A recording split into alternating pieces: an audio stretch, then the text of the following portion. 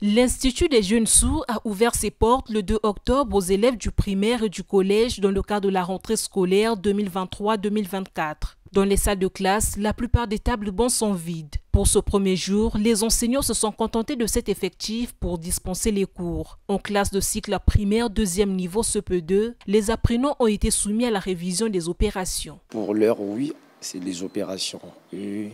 question de les le réanimer et question de voir s'ils n'ont pas eh, perdu les notions.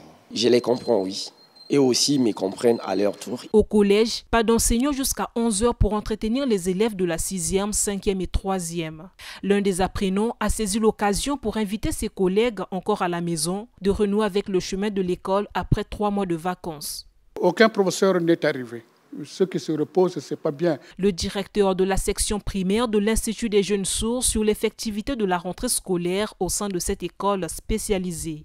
Effectivement, nous avons constaté la présence du personnel, le personnel enseignant, euh, je peux dire tout le monde est là.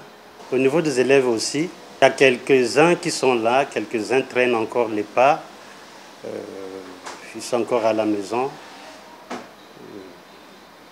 Donc nous souhaitons peut-être euh, les jours à venir, ils seront là. À partir peut-être de demain, quand ils vont constater que les autres sont arrivés, ils ont écrit.